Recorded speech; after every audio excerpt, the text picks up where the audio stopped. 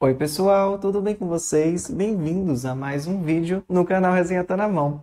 E no vídeo de hoje eu vou trazer uma comparação entre os olhos pinga da Lola Cosmetics. Se você gosta desse tipo de conteúdo, não se esqueça de se inscrever aqui no canal Resenha Tá Na Mão, onde a gente posta vídeos de produtos de cabelo todos os dias e ainda você pode acompanhar as promoções que estão rolando na internet. Sim, no box de informação desse vídeo a gente posta um link com cupom de descontos e também com as ofertas que estão existindo agora, nesse momento, na internet de produtos de cabelo para você comprar por um preço mais bacana, tá bom? Tem muito tempo, gente, que eu queria trazer um vídeo comparativo somente com os olhos pinga da Lula Cosmetics para mostrar para vocês quais são as diferenças entre eles, tá certo? São olhos que eu gosto muito e eles têm características semelhantes. A Lula tem três olhos pingas, o de cenoura e oliva, o de açaí para caxi e aquele de patauá e moringa. O que eu percebo é que eles têm em comum a característica de serem óleos hidratantes, pessoal não são óleos reconstrutores, eles não têm nenhum agente reconstrutor na fórmula, eles também não são pesados na nutrição.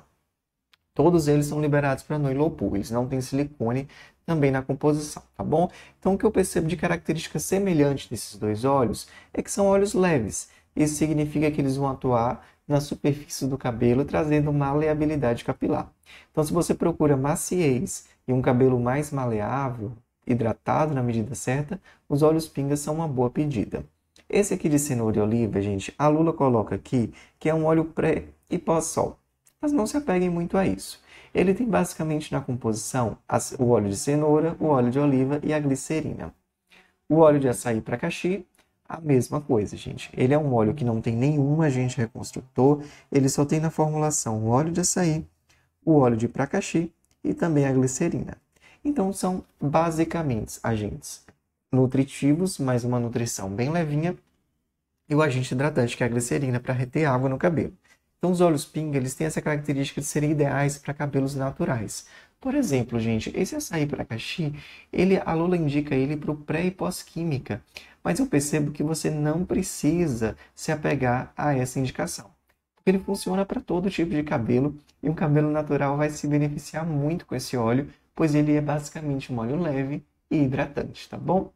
A diferença dos dois, gente, que eu consigo perceber, é que o óleo de cenoura e oliva ele é um pouquinho mais pesado do que o açaí para caxi. Veja bem, isso não significa que o de cenoura e oliva seja pesado.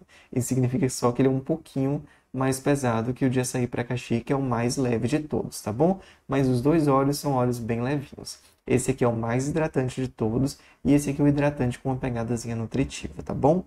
Todos os óleos eu gosto muito e não tem assim qual é o melhor. Quando eu quero um resultado bem leve de maleabilidade, eu vou nesse. E quando eu quero também um resultado leve, mas com um pezinho maiorzinho, um pouquinho maior de nutrição, eu vou no pinga de cenoura e oliva. Se você tem é, opiniões semelhantes ou diferentes, deixe aqui nos comentários. Eu quero saber a opinião de vocês sobre os óleos pinga, porque isso ajuda muito também as outras pessoas a escolher o óleo ideal para elas, tá bom? É isso, pessoal. Não se esqueça de se inscrever aqui no canal Resenha Tá Na Mão, de ver no box de informação os cupons de desconto que a gente está colocando aqui no nosso canal e até o próximo vídeo.